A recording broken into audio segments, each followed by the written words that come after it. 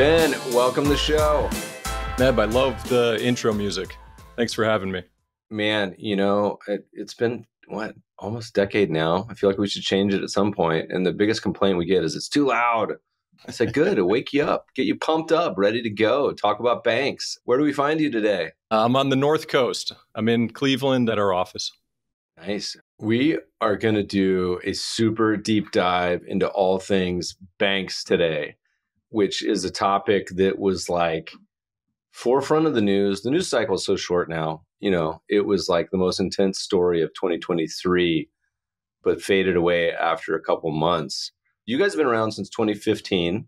Tell us a little bit about that period. It seems whenever I try to go out of town, something happens. And so, in hindsight, I probably could have predicted all this, like when I booked my trip to be out of town. So, that week, you had the Silvergate failure, which happened a few days prior. And it's an odd little crypto bank. Okay, that's not really a big deal. But then you started to see real extreme volatility in the public market. And so I was at like a Hilton hotel in Orange County when all this stuff started unwinding. We had a big private investment, the biggest investment we'd ever made, that we were exiting it, and it was supposed to close on that Friday. So Silicon Valley Bank fails, and we're waiting for like a $100 million wire to come in. And it turns out that the wire was supposed to go through Signature Bank. And with all the chaos that was going on, they didn't send the wire. We're like, oh crap, is this deal gonna, are we gonna have problems here? Is this really gonna close? So March 10th is the Friday. That's Silicon Valley fails. By the way, I get nervous when I send like a $200 wire. I mean, a $100 million wire and not arriving. Was that a pretty pucker moment for you? I mean, was this like a real stressor? Were you able to get people on the phone? It was absolutely a stressor. Yeah. Our operations people were trying to track it down and we were talking to the buyer and trying to figure out, all right, what's happening? And they said, okay, we can't send it today. We're going to pick a different bank. We're going to route it through First Republic. That was the backup plan. Friday, Silicon Valley fails. And what people sometimes forget is that the stock closed at $100 the day before. So a lot of times when a stock goes to zero, you have sometimes years to sort of see the problems brewing. And if you have a stop loss or whatever, manage the risk of that. But when a bank is taken overnight, it's hugely destabilizing because the stock price went from 100 to zero, literally before the market opened. And that freaks people out, obviously. And what that does is it makes it harder for equity capital to go into the banking system. And at this point, there's real concern about like a contagion. Are we having 1930 style bank runs? Is this going to be a systemic thing? Because at this point, you've had three banks fail, but they're all odd banks. They're all kind of doing weird things with weird balance sheets. Silvergate was a crypto bank, Signature was a crypto bank, Silicon Valley was kind of a bizarre, non traditional bank. And so at the time, I was serving on five bank boards for different community banks across the country and called five emergency ALCO, Asset Liability Committee meetings for that day. And like an all hands on deck, what are we seeing boots on the ground? Are we positioned for this? Do we have enough liquidity?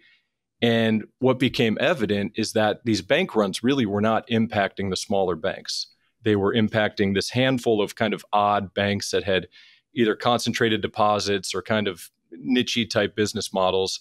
And then they were impacting some of the regional banks that were typically catering towards larger business customers, but they really weren't impacting the smaller community banks. Can you kind of explain the difference for the listeners of when you say community and regional, like what are the differentiators? Is it just size of assets? Is it focus on what they do?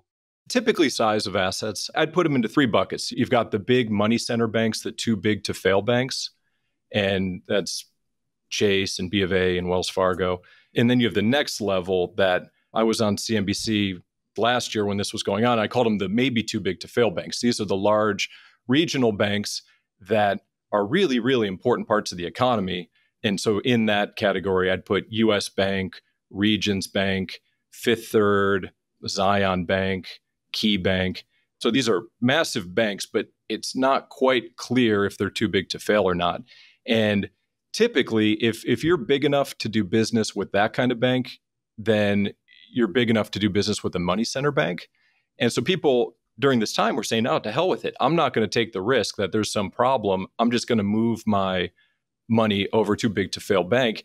And so it did create deposit outflows in those banks. I think this is probably a larger problem in terms of what I view as a two-tiered banking system in this country where you have too big to fail and then everybody else and it's created an uneven playing field which in normal times isn't a big deal, but in times of, of stress and panic, it really is a big deal because the money flows to these too big to fail banks and, and comes out of the community banks and the regional banks. Let's stick on this topic for a second because there's a lot of misinformation. Some of my VC buddies who've been on the podcast as alums were losing their mind on Twitter that weekend, probably not helping things. But you mentioned FDIC and the process, which is a process that has been, you know, very well established over the years. Bank failures are not something that is totally uncommon. It happens. Talk a little bit about the process, why people kind of were going nutty, and then also you mentioned reform. What are any ideas on how to make this uh, better if it needs reforming? So, something that I think people might find surprising is in 2023, there were four bank failures. Four, there was one small one, but it was kind of fraud related in the summer. But there were four bank failures as part of this March Madness thing. Those four banks were combined larger than all the banks that failed in 2008 and 2009. So there were 165 bank failures during those two years, but they were smaller banks, whereas these were really huge banks and combined were actually larger than than all the banks that failed during the not during the entire financial crisis, but in 2008, 2009. No bank is really designed to withstand a run. The fractional banking system, you can't ever set up a bank where all the money could fly out the door in a day. So if you lose 30% of your deposits in a short period of time, you're basically on life support. And if you lose 50%, it's a death sentence. And so that's what happened. That's why Signature, Silicon Valley, and First Republic failed because they did lose a huge amount of their deposits. Now, what made those three unique is that they terribly mismanaged their asset and liability, their interest rate risk, their balance sheet. And we focus on net interest margin, which is the margin the bank earns after paying its depositors. And a good net interest margin is 4%. Right now, Probably 3% is more the norm because of the pressure on deposits in the last year.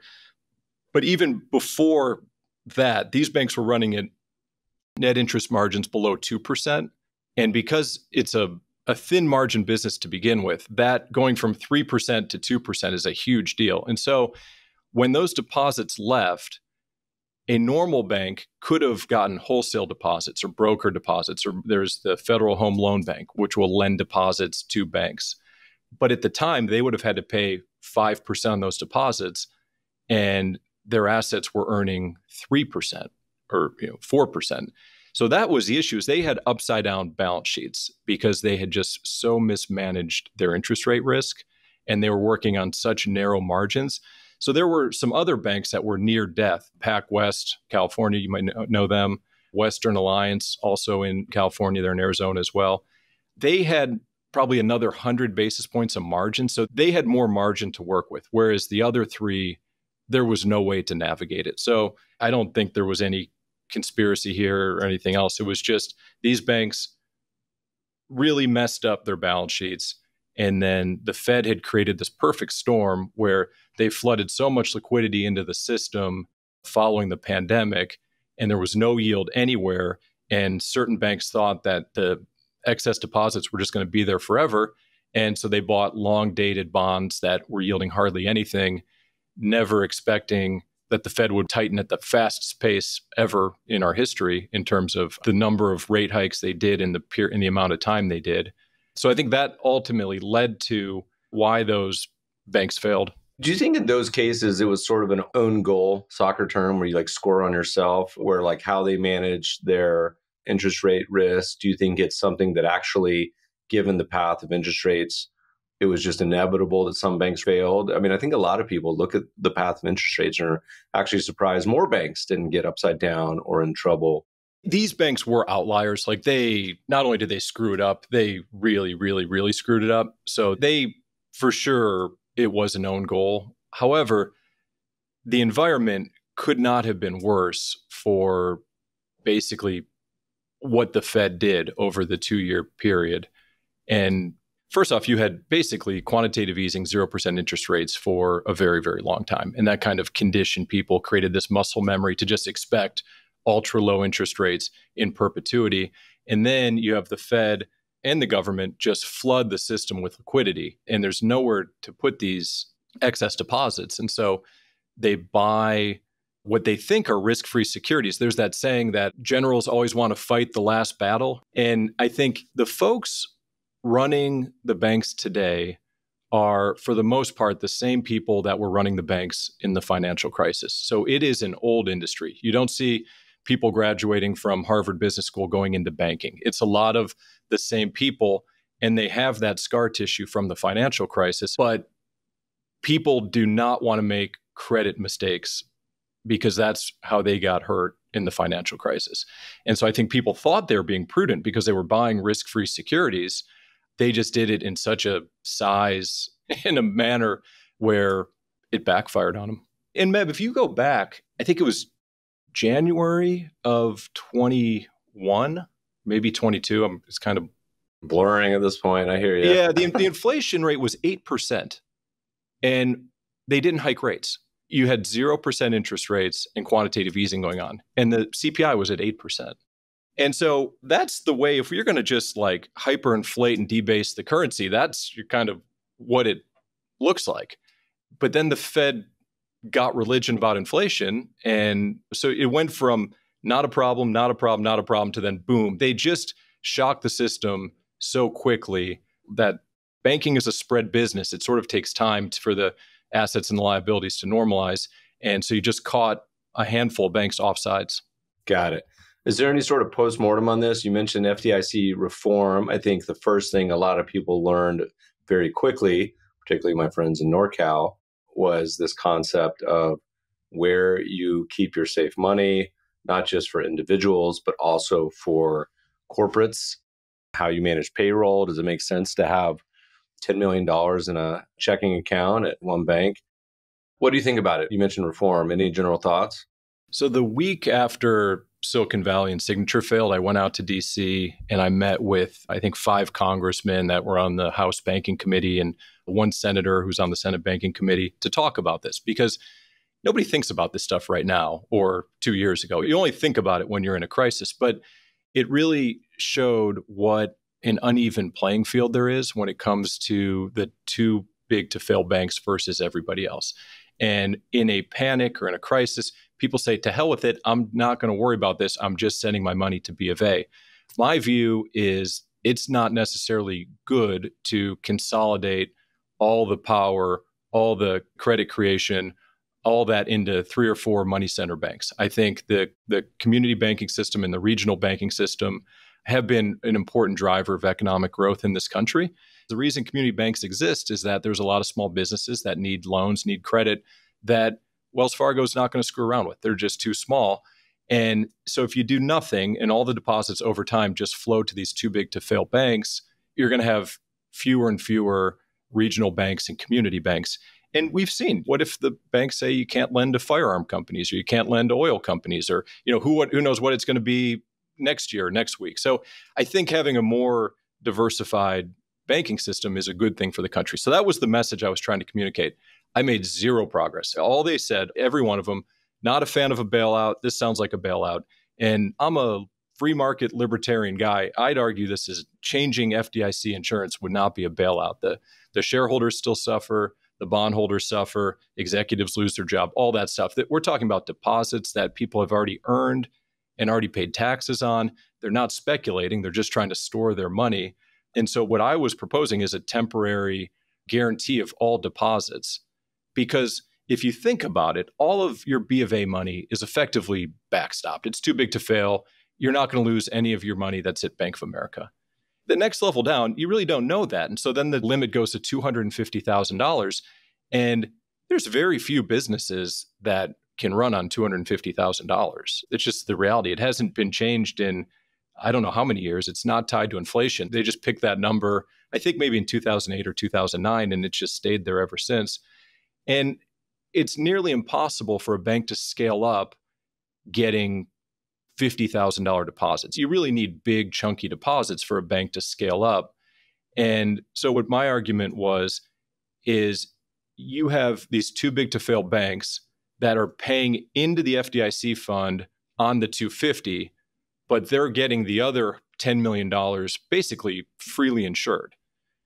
Whereas you've got these community banks paying the 250 and then not having any excess deposits because everyone's worried that anything over 250 is going to get locked up or disappear if the bank fails. And so that was the gist of it, but there was zero interest. And so I quickly figured out that there was going to be no FDIC reform, no Calvary riding to the rescue on this. It was a very political topic. I think some people wanted to blame the San Francisco Federal Reserve. Some people wanted to blame short sellers. As crazy as that is, people were saying, oh, it's those short sellers that cause these bank failures. So I think the FDIC reform I'd like to see is a leveling of the playing field. Either you break up too big to fail. I don't see how that happens. The original sin was allowing too big to fail to become it in 2008. But if you don't do that, then I think you need to do something to address these smaller banks that are trying to compete with those larger banks. Well, right. The crazy thing to me was when all this went down, and I had a tweet that unfortunately went very viral where I was like, look, you know, you essentially guaranteed the assets of Silicon Valley Bank. You know, they came out and said, look, these are money good. And I said, okay, well, look, that's all well and fine.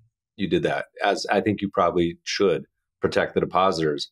But you can't selectively do that. You can't now be like, oh, you know what, we're going to do this for this one, but these next 10 that happen, they happen to be in a state nobody cares about. So we're not going to do it in those. You have to then protect all of those. And it doesn't seem, in my mind, as an outsider, to be that hard. It seems like you could either A, uh, say, look, if you got safe, segregated money with FDIC infinity, maybe you just segregate that money and say, look, this is not ever going to have the risk that might be applied to the rest of the bank, whatever the mechanics that is. Or you simply say you charge a little more for insurance. But what you can't do is protect this tech bank, you know, with all the perception of these it being a tech and VC handout and then let some bank in Kansas or South Dakota or somewhere else fail and just be like tough darts, you know, you should have known better 250 grand. Because that to me seems like a really foolish way to go about it. The irony is that it's cheaper to prevent a bank failure, cheaper for the FDIC to prevent a bank failure than to have one. So if they had just done this, it would have stopped it right there. There wouldn't have been any bank failures to backstop because the people would have stopped freaking out and pulling their deposits, which was another perverse thing. It was like, why wait till the bank fails to make the deposits money good? If you proactively do it, then you just put out the fire and there's no reason to do it. I learned early in my career the market hates uncertainty. When there's uncertainty, you've got to price in tail risks of you know really different outcomes and that's when you see huge volatility. And in banks, it's really dangerous because it can impact the consumer demand. If Nike's stock price goes down by 50% tomorrow, I'll still buy my shoes today or tomorrow. Like, I don't care what the stock does. If I want the shoes, I'll buy the shoes. If you see your bank stock go down 50%, you're thinking about pulling your money. What's wrong? There must someone must know something. There must be something wrong. There's more of a reflexive nature with the bank stock price impacting consumer perception, consumer behavior, and it can create a death spiral. So it's not something to fool around with, would be my opinion, because the customers of these banks are not, for the most part, you know, billionaire hedge fund speculators. They're like small businesses and, and people are trying to make payroll, trying to pay their suppliers. That was a wild time. It was certainly stressful. It's just kind of funny to go full circle on too big to fail. The buyer eventually opened an account at JP Morgan and sent the wire through Chase, too big to fail. And the money did show up. And then we were able to play offense with it. It was a big injection of cash for us. And we were able to put that money to work primarily in these regional banks that we were talking about, that may be too big to fail. At that point, we're down 40 or 50%. We're trading at six and seven times earnings, huge discounts to their tangible book values while it's no fun to go through, that kind of turmoil creates opportunities. And that's just the way this investment works. And, you know, I've done it, I don't know, 10 different times now, and it's always very unpleasant to go through. But when you look back, you say, wow, I would not have had those entry points or those opportunities if not for the chaos or whatever disruption occurred in the market. So it did end up being a good opportunity for us despite a tough couple of months. Well, tell us about you guys. So you got started Strategic Value Partners 2015. I believe you do both public and private. Tell us a little bit about you guys. There's real structural reasons why what we do makes sense, in my opinion. Community banks, for the most part, are a very inefficient asset class. Our counterparty, the other person in our trade, is typically just some local guy in the community. It's a you know, an attorney or a car dealer, somebody who lives in the town and likes the bank and you know he's buying or selling. There are not that many institutional caliber players in this space. And the reason that is is because there's a lot of regulations regarding ownership, share ownership of banks. And I think they come out of like prohibition because I, I, believe the mob used to get control of banks and then use that for laundering money. And so the Federal Reserve, when it was formed, made it very difficult for entities to buy banks unless they are banks themselves. And that's a very rigorous, regulated process. You know, we would never want to be a bank. No private equity firm or hedge fund would ever want to be a bank. And so what that does is that limits your ownership to about 10%. You can sometimes go up to 15%. It is a long, long process. Last time we did it, it took six months to get approved for it. And then at 15%, that's the end. Basically, there's another way you can go up a little bit more, but it's even worse than the application to go to 15%. So, for the most part, people, institutional investors will stay below 10%. And what that has done is it's kept Blackstone, KKR, Carlyle, it's kept traditional private equity out of this area because they don't have control. They can't take the bank over and run it.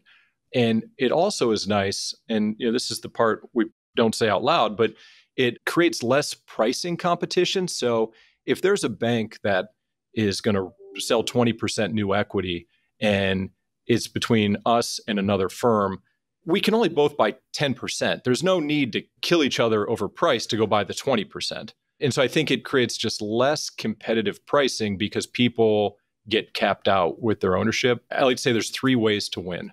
The first is multiple expansion. That's easy. That's just traditional value investing. You buy it cheap for some temporary reason, some misperception, whatever. At some point, the valuation multiples are typically mean reverting, and the market at some point will re rate it higher. You're going to make a return on that. Okay, that's great. A lot of people do that.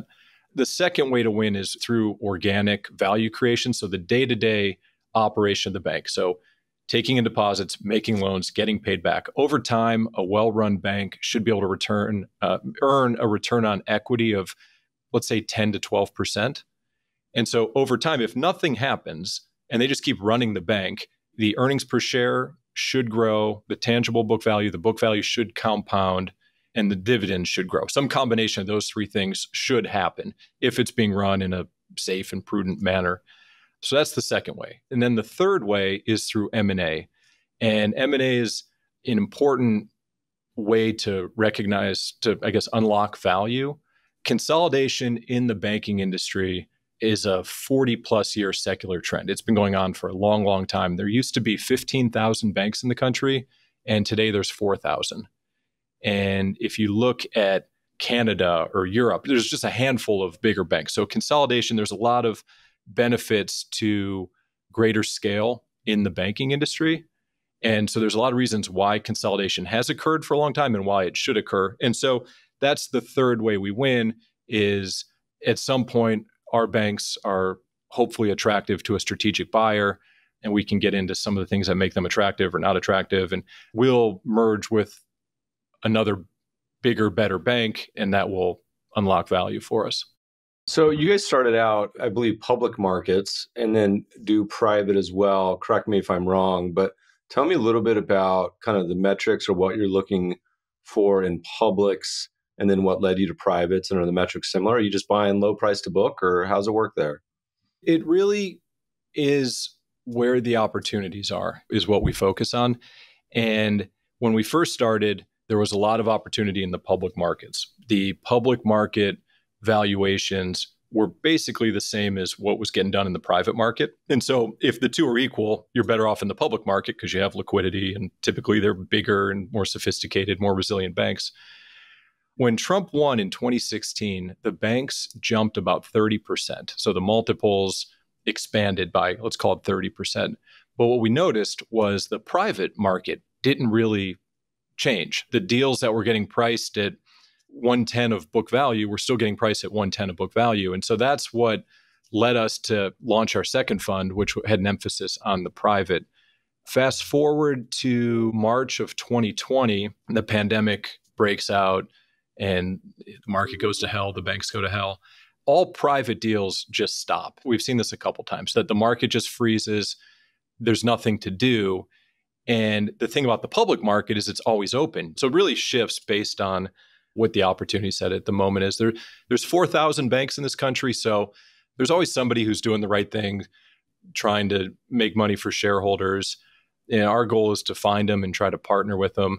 We have some investments we made on day one that we've owned for eight plus years. So it's not necessarily that we're going to get in there and tell the bank to sell itself. That's not the case at all. A lot of times, the bank and the board are the ones that initiate this for succession planning. So I, I mentioned it's an old banking in general is an old industry. A lot of times there's not a number two successor at these banks, and M and A is how they address succession planning. As I mentioned, there's a lot of cost synergies in banking and a lot of benefits of scale. And so we have a chart that I think is in that deck that I shared with you that shows the return on assets based on a bank size. And there's a very linear function. The bigger the bank gets, the more profitable it is, the more it makes. That flattens out at around 2 billion, but there is huge benefits to scale from 0 to 2 billion, which also encourages a lot of M&A activity. Interesting. So, give us an overview of 2024 and you can take this in every way. What does the opportunity set look like to you?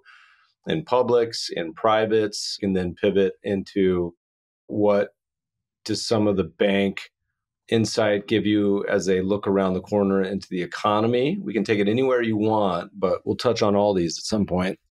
When I had originally we had talked about doing a podcast, I think somebody had canceled back in October. The banks are up 30% since then. So there's been a big run in just a couple of months. Should have had you on. What happened, man? All right. Next time we'll be more timely. Yeah. They're not nearly as cheap as they were, but I, I certainly wouldn't call them expensive. Right now, the bank's traded about 10 times earnings. S&P is at 19 time earnings. So they're still not what I would say expensive, but they're not as distressed as they were.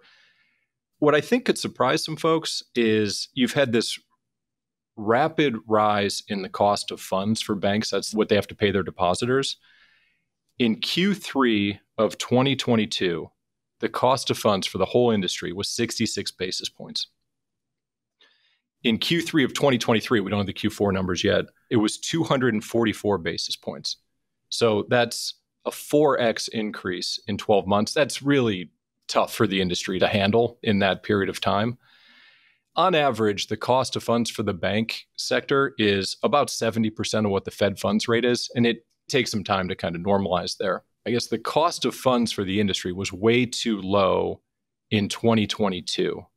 And so a lot of people think that the pressure on deposits started with Silicon Valley and First Republic and stuff. And it didn't. It really started in Q4 of 2022. There was a big jump in deposit rates. And then it continued in Q1, which was basically the spark that lit the fire. And that was a function of if you could get higher yields in money market funds or in treasury bonds, what are you doing keeping your money in a bank account, getting nothing for it? And I think people had been so conditioned because of 10 years of 0% interest rates and quantitative easing and all this stuff that they just got lazy and kind of forgot about managing cash. It wasn't really a priority or an emphasis.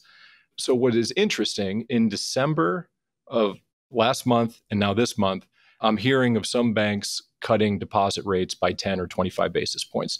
So, you're finally seeing the cost of funds pressure in the industry diminish and you're seeing those rates go down. So, what I would expect in 2024 is that the net interest margin that we talked about has been getting compressed and compressed, that it either bottoms in Q4, which we'll get those results in a couple weeks, or Q1.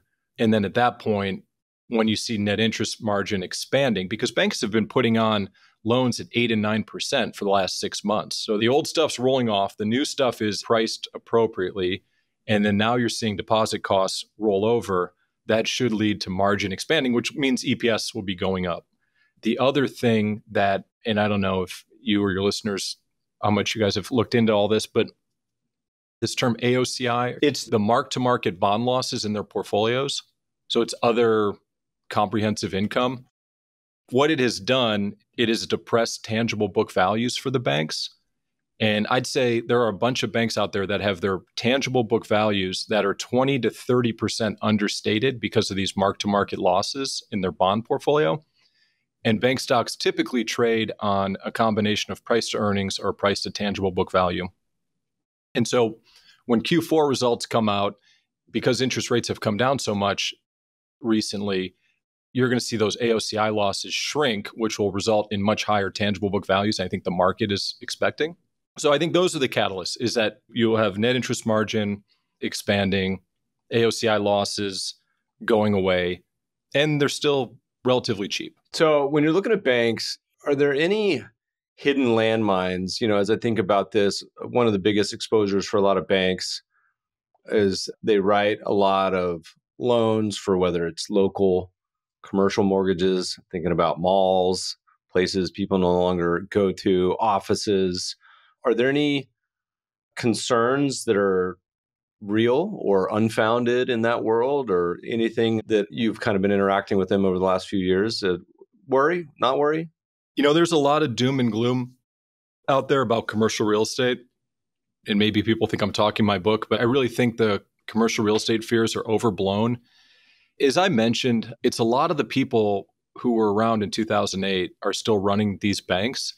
And in my opinion, the underwriting standards have not degraded people learn their lesson. I think those fears are probably overblown. Office is absolutely a mess. So, so no doubt about that.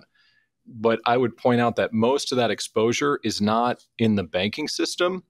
A lot of it's at REITs, insurance companies, pension plans, private equity, private credit funds. So while I wouldn't want to own an office tower in San Francisco, you can get them for pretty cheap these days. I saw one. I've seen some of the prices down on Market Street. Not too bad. There's a price you might want to own them. I think that's right. I think there's no bad assets. There's just bad prices you could pay. So at some point, it would be a good investment. But from a bank standpoint, as we think about credit losses, because that's how you lose money investing in banks is credit problems. It's a, a narrow margin business. So if you have credit problems, that's going to create an investment problem as a shareholder. Would say that the underwriting standards probably are much better now than they were pre-financial crisis. So I don't see a systemic issue in terms of commercial real estate is a big landmine. Now, if the economy goes into a recession, for sure there's going to be credit problems. But if you're investing in banks that have reasonable underwriting standards, there should be a lot of margin of safety because when they make the loan, they're requiring equity upfront. Office is its own beast. So let's take that out of the equation. But other real estate has appreciated in value since the pandemic. So your equity or your margin cushion has expanded even more. You could probably see a drawdown of commercial real estate values of 30% and the bank still wouldn't have any losses because there's that much equity built into them. So I think the system overall is in much better shape than it was before the financial crisis. When you're looking at the privates, I was thinking this how do you source these banks? Is there enough public information or is it a process that is not public? And then how do you get them to accept your investments? Do you guys say, hey, look, we got some value add we can give you? How does that whole process work? Because it's different than startups in my world where everyone's always looking for money. How do you kind of go about getting info and how's the whole process work on the private side? So we're nine years into this and $500 million of AUM, you know, in the scheme of things, not a big player, but actually a big player in this world. There's only a handful of folks that do this with an institutional caliber platform and balance sheet. And so we have been able to develop a good reputation in the industry. And our goal is to help our banks become bigger and better. It's as simple as that. And so we want to be more than just a source of capital, but also a strategic resource for them. And that's why a lot of times we join the boards. I've been on nine bank boards. I'm probably going on number 10 in a couple weeks. That's the model that we're trying to implement. In terms of coming in, sometimes it's through a capital raise. So if they need to raise growth capital or they want to expand into a new market or they want to do something and they need more equity capital to do that. Other times it's a balance sheet restructuring, and, and we haven't really had those lately because there haven't been credit problems. But if a bank needs to write off bad loans, they need to bring in new capital. So that's the bank bringing in new capital that would come from us from people we know in the industry. There's a handful of investment banks that specialize in just raising money for banks. The odder situation is where we buy existing stock. And we've had some bizarre ways of getting in over the years. And so there aren't that many people who can write a 5, 10, 20 million dollar check for a privately held community bank. That's just not on a lot of people's radar is what they want to do with their money. And do they tend to use it for liquidity for owners or is it more for growth? When the bank is doing it, it's usually for growth. But sometimes there's existing owners who want to get out, who need to get out. And so there were two brothers in North Carolina. I don't think they were Fabers, but they were going to prison for like some white collar crime. And they wanted to get out of this stock that they had owned for a long time. And so we negotiated a deal with them. It we viewed was a attractive entry price and the bank had nothing to do with it. These guys had done something totally unrelated, but that was a situation where an existing shareholder needed liquidity. If you're the only one that shows up at the table, typically you can negotiate pretty good terms. There was another guy in Colorado who had to file for bankruptcy. He owned big stakes in two community banks. We ended up striking a deal with the bankruptcy court to buy his stock. We've had family disputes where there's some family fallout and somebody wants the money and never to talk to the family members again. So we'll come in that way. All sorts of just sort of one off things. The nice thing about the banks is they are highly regulated and they're required to file quarterly, they're called call reports with the FDIC. If you think about you and I could start an unregulated bank tomorrow and nobody would show up. The secret sauce is really the FDIC insurance. That's saying the money I put in this bank is protected. And complying with that is what allows banks basically a cost of capital advantage because they fund themselves with deposits that are anywhere from 0% to 3 or 4%. But in order to keep the FDIC coverage, they have to file call reports. And so even small private companies in the middle of nowhere have to file effectively structured, clean financial data each quarter. And so a lot of times, if it's a truly private company, we'll work off of that in conjunction with any of the financial reports we get from the actual company. And we're jumping around a little bit, but I keep thinking of different things. You know, what what's the state of fintech disruption in this world? Are they somewhat immune to it because of the community nature to it, or are some of the VCs love to try to disrupt traditional industries that have nice profit margins and, and, our world tends to be one of those what is the pressures you're seeing if any on your portfolio companies both public and private this might be a little contrarian for any of your vc listeners but I, I think this fintech disruption idea for the banking system is overblown if you go back 20 years ago people thought that the internet banks were going to make traditional banks obsolete you have an internet bank oh, there's going to be no more banks anymore well that didn't happen. There is still a need for credit creation for small businesses in this country. And if you think about how a community bank can keep up with technology, it's actually not that hard. They, none of them have programmers or R&D. They buy their tech, they buy their software from their core system provider, and there's like four or five of them. Fiserv is one, Jack Henry, FIS. So they're these bigger companies that provide the software and the technology to basically every bank in the country. And so it's those companies that develop the new stuff, that do the R&D, and they buy, they acquire a lot of upstarts. If somebody comes up with a great loan underwriting platform or mobile banking app or something, typically these companies will either reverse engineer it or they'll buy it. And then they roll that out to all their community banks. So in 2024, if a community bank doesn't have mobile deposit app for your phone or you know some of these things, it's because they're not trying. Like this stuff is readily available and cheap to everybody. And so that idea that it's going to render them obsolete, I don't know how that happens because they really just adopt it and they adopt it at scale because it's coming through these other scale providers. They're not developing it themselves.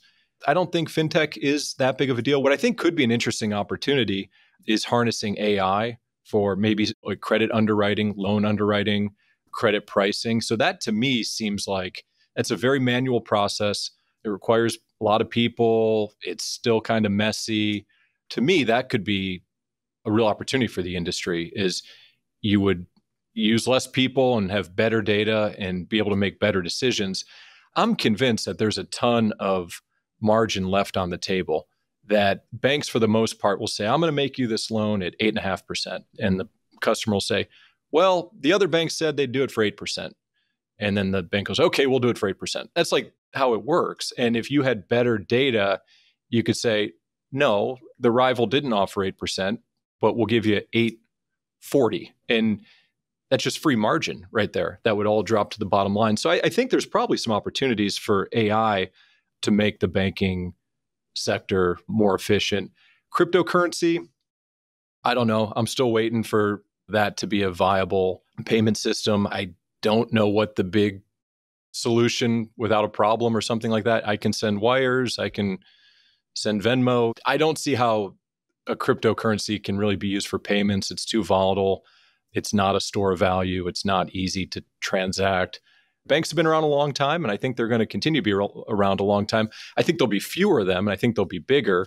If you don't go to the branch and get cash, that's not really good for a bank. If you think about like why a bank exists, how it makes its money, it's not, oh, I never go to a bank branch anymore, so my bank is obsolete. No, it's someone to hold deposits, so store your money.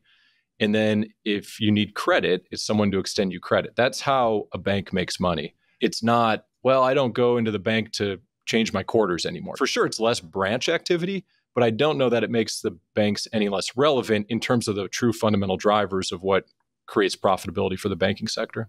As you kind of value and think about these banks, is there any ways that traditional investors like try to value them that you're like, oh no, you should totally not do that? Is is there anything where like you hear analysts come on TV and they're talking about banks where they get wrong? I've heard people try to talk about like EV to EBITDA as a multiple. That doesn't make any sense.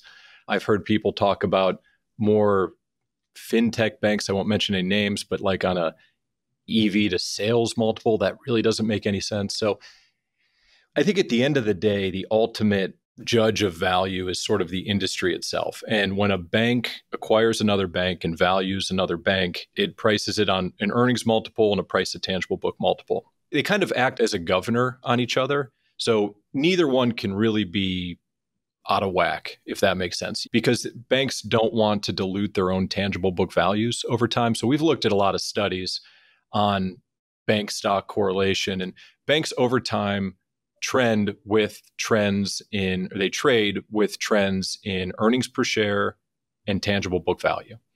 And so if those are going up, over time the stock price goes up. If those are flat, over time the stock price will be flat. If they're down, the stock price goes down. And so it's really kind of as simple as that in terms of valuing them. You know, they're all different, but there are a lot of similarities too with the banks. It reminds me of the, the Tolstoy line all happy families are alike. Each unhappy family is unhappy in its own way. It's really true for the banks. They're similar businesses, but they're all either it's their market or their focus or their management you know, there's kind of nuances that, if done right, can create value, and if done wrong, can destroy value. You mentioned holding some of these private companies for like eight years. What is the liquidity option as you get out? Are you generally have provisions where you're selling it back to the bank? or Are you finding M and A transactions? Like, how does that go down? M&A is a really important part of our strategy. It's often the catalyst that unlocks value and also creates liquidity. And Charlie Munger would talk about the Lollapalooza effect. And so if we invest in a bank, and I'm just going to use generic numbers, but let's say it has a $10 book value at the time and we pay one time book value for it. We come in at 10 bucks. And over a period of time, they double that. And it's now a $20 book value. And instead of it being worth one time, it gets bought out at one and a half times. So that is a $10 investment. But because you get the big multiple expansion on the higher book value, that's how you can generate a nice return over time. So M&A is really really important for us. 23 was a terrible year. M&A activity was down 60% year over year. And I mentioned that bank M&A is a long-term secular trend that's been going on for 40 plus years. What's the driver there?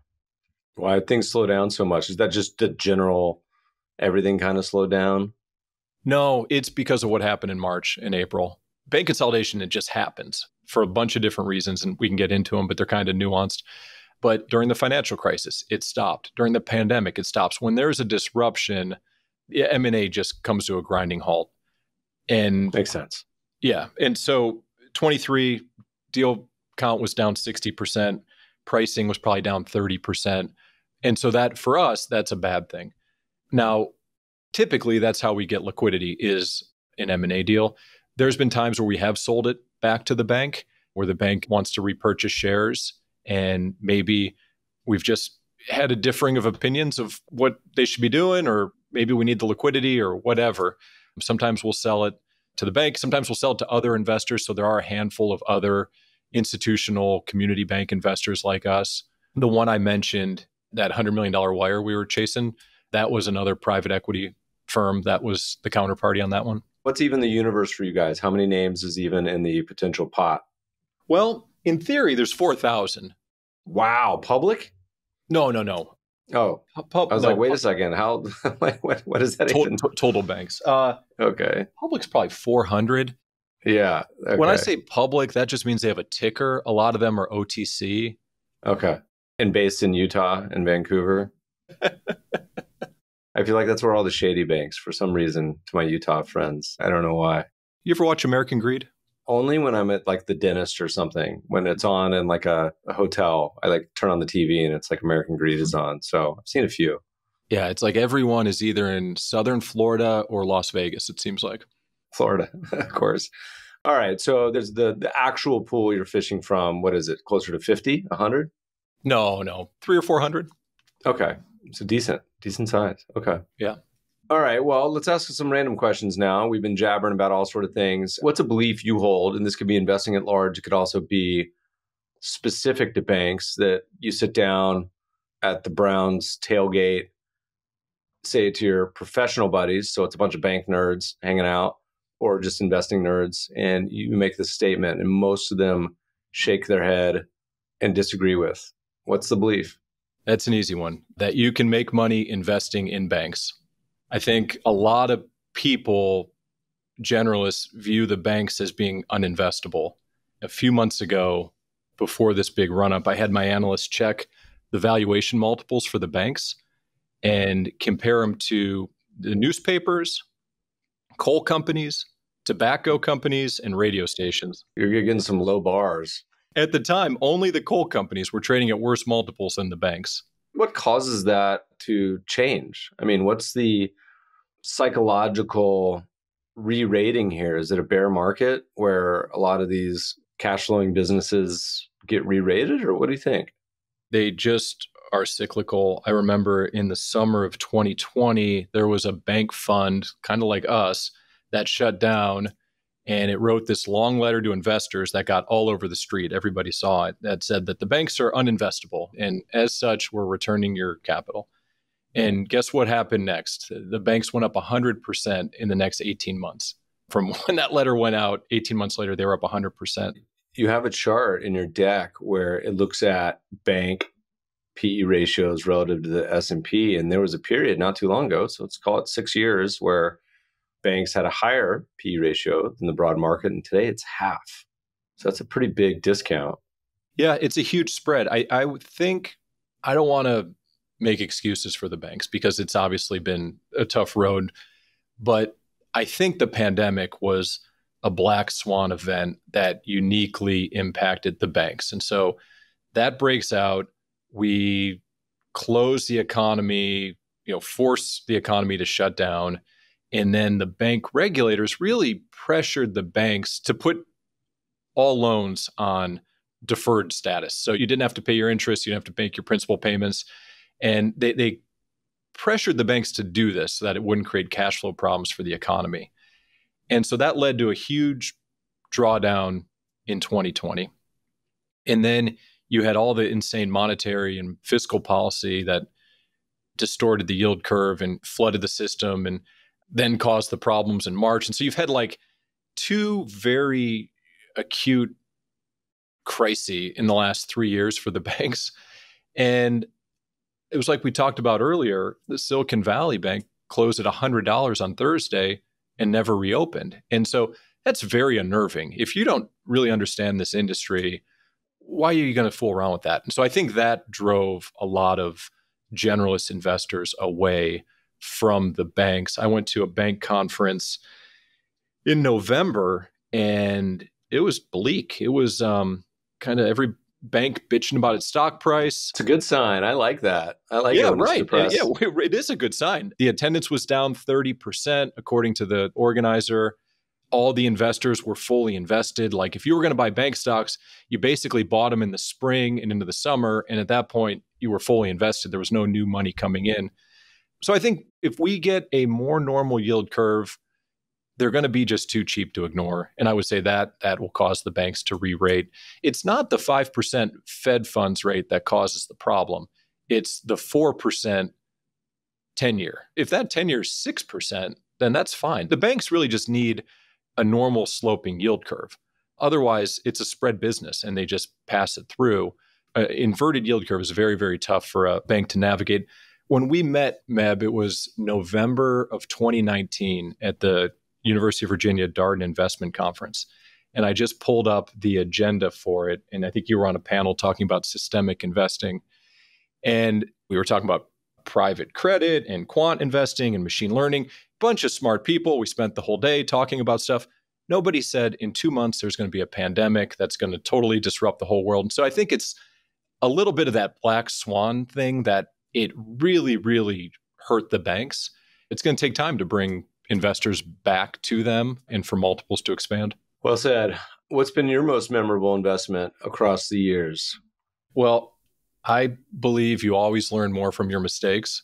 So, even thinking about this last night, I um, had like PTSD going through it. But before the bank fund, before Cavalier Capital, I was at Rivanna Capital, which was a long short fund in, in Charlottesville. I recommended we make an investment in a company called USEC which is a uranium enrichment company. And it was privatized out of the Department of Energy in like the 1990s. It was an absolute monopoly, impossible barriers to entry. They had this program with Russia called megatons for megawatts, and they would get weapons grade uranium from nuclear weapons and they'd ship it over and then they would turn it into low grade fuel that could be used for power plants. So, like this is in 2010, maybe. People are still spooked about the financial crisis and the recession. Like, this is a beautiful business. There's no competition, massive free cash flow. It's not economically exposed, cyclical, exposed to the economy. So I recommend it to the PM and gets in the fund and becomes a pretty big investment for us. And I guess the reason why the stock was undervalued, in my opinion, at this time is they were building a new facility that was going to be the next generation enrichment and they had spent billions of dollars of their own money on it and they needed 2 billion from a loan guarantee from the Department of Energy to finish it. So a very stable, massively profitable business. March of 2011, there's an earthquake in the Pacific Ocean. That earthquake causes a tsunami. That tsunami hits Japan someone 40 years prior had built the nuclear power plant in like an insane place that was right on the ocean and was prone to flooding. Furthermore, their backup power facility was also either underground or like in a low lying area. That also flooded. So, this is the Fukushima incident and causes that disaster to happen. It totally killed the nuclear industry. You saw existing plants be retired, no new construction come online, price of uranium collapses. So eventually that company filed for bankruptcy. The, the moral of the story is the best investment thesis can be totally upended by some black swan event. And so you just need to have a real dose of humility because you never can predict the future. The future is always uncertain. And you can do the best analysis and think you've got something that's just a layup. And then the world is way more chaotic and uncertain for that. And so I think that is memorable because it just seared in my memory. We lost a bunch. It was awful. It was embarrassing. But it has really, re- I already knew this, but really reemphasized just risk control is so, so important. The math behind losing money is so bad. If you take a big drawdown, you're down 50%. You have to be up 100% to break even. So, a big part of successful investing, in my opinion, is controlling risk, avoiding the big drawdowns. I don't know. Have you ever met Paul Tudor Jones? Not in person, no. I got to know him a little bit. He'd always come down to UVA, and, and he's big, uh, huge on risk control and risk management. It's something he talks about a lot. You, you can be wrong a lot as long as you control the downside. And when you're right, you need to make multiples of what you lose when you're wrong. And that's kind of my investment philosophy boiled down into a nutshell is you really need to focus on controlling risk, understanding what the downside is. That's another nice thing about these banks assuming that they're not run by total cowboys or fraud or anything like that, if, a bank struggles and stubs its toe, there's typically 95% of the time a bank that will buy it book value. And so there's some off ramp there that if things do go sideways, there's typically a buyer who will take it and you probably get your money back, assuming that you bought it cheap enough. And I can think of a handful of situations where they didn't turn out to be the great investments we thought they were, but we ended up either getting our money back or maybe making a little bit because there are typically strategic buyers for banks that are up for sale. Well, the uranium story is another lesson. You just got to hold on long enough. 2022, 2023, 2024 has been shaping up to be a pretty bull market for all things uranium. So you just had to buy a basket and go away for a decade. Eventually, you'd be proven right. Well, that company filed for bankruptcy, but I guess I just saw this. It's now a public company again. It's called Cent- Centrus. Buy some just to uh, just to uh, complete the circle. Yeah, long history. Ben, it's been fun. Where do people they want to find more info on your fund, your writings, what you guys are up to? Where do they go? I keep a pretty low profile. I guess LinkedIn. We don't have a website. Maybe for our 10 year anniversary, we'll. Uh... That's real old school, man. I mean, Berkshire at least has a, a placard. So you guys are uh, even more old school. I like it. Well, Ben, thanks so much for joining us today. Thanks, Ben.